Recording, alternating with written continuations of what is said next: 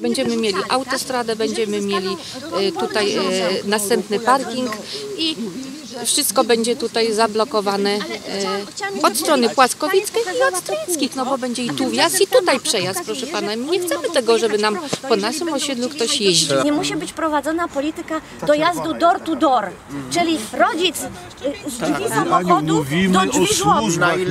Ale my nie mówimy, nie eliminujemy Chcemy, jesteśmy za tym, żeby, powiedziałem to już wcześniej, żeby wjazd swobodny był zablokowany, ale Dobrze. droga zgodnie z przepisami musi Nie, być. bo ulica Płaskowickiej, Stryjeńskich, Kazury, tak w, w tej chwili budynek Kazury 8 i 6, gdzie chcemy, żeby był otwarty tutaj ten wjazd. Ja bym powiedziała, że tutaj nie był planowany. y, Wjazd na osiedle jest właśnie na skrzyżowaniu w tej chwili przy budynku Kazury 2E. I ten wjazd podejrzewam do, do żłobka był właśnie tak przewidziany, albo tutaj z tej strony, ale myślę, że bliższa trasa to jest o tu. W ten sposób dla służb.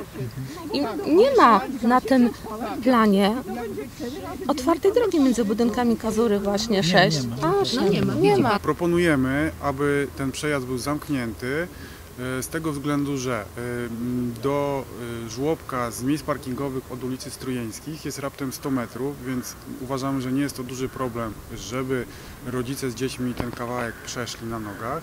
Dodatkowo e, można tam wydzielić specjalne miejsca dla tych e, rodziców, żeby zawsze to miejsce dla swoich samochodów mieli. Ale co spółdzielnia zamierza zrobić? Jak ma to przedstawić burmistrzowi, Żeby to osiągnąć. Żeby to osiągnąć. Co? Z burmistrzem, czyli z władzami dzielnicy można rozmawiać i rozmawiamy. I burmistrz powiedział, że czym innym jest droga, którą oprotestowujemy, a czym innym jest organizacja ruchu. Czyli przejazd tą drogą. I przejazd tą drogą swobodny może być zablokowany. Co pan może zrobić? Pismo napisać? Nie, rozmawia cały, Pani, cały czas pisma rozmawia. były pisane, rozmowy, byliśmy z co, mieszkańcami, jest tu jest żaden? pani, która była, delegacja była, z, prowadzono zmiany, cały czas rozmawiamy. Spółdzielnia może tyle, ile może. Wybrałam się do Urzędu Gminy, rozmawiałam z Wydziałem Infrastruktury, nazwiska pana nie pamiętam, na J. I on mi powiedział, pokazał mi tą mapę, jak to wygląda w tej chwili i powiedział, nic już tu się nie zrobi. Jak on sobie wyobraża ruch?